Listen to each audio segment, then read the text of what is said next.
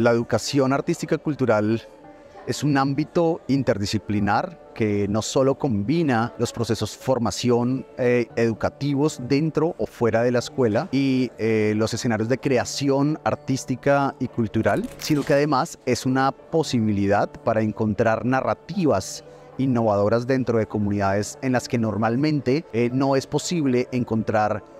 procesos de diálogo o de narrativas. Es así que la educación artística, particularmente en mi campo, que es fuera de la escuela, en los entornos comunitarios, posibilita ampliar el diálogo social y encontrar allí posibilidades de sanar, posibilidades de construir memoria histórica y fotovoz. Dentro de la fotografía participativa ha sido una herramienta para formar,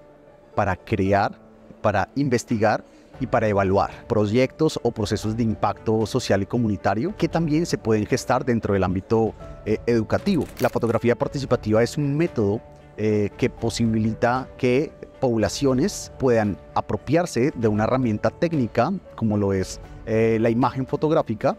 para contar experiencias de, su propio, de, sus propias vivencias. Bueno, la fotografía eh, y su esencia en la imagen y en la imagen fija constituye la representación de una experiencia vivida. El trabajo que hacemos de recoger eh, esos relatos, esas historias para convertirlas en imágenes en personas que han sufrido o vivido la guerra, entre esas poblaciones eh, jóvenes dentro de los ámbitos educativos también, permite que en ese proceso de representación, en ese proceso de creación de sus propias narrativas desde el texto y desde la imagen, se geste una catarsis, se permita una elaboración del duelo, un procesamiento del trauma y, ¿por qué no?,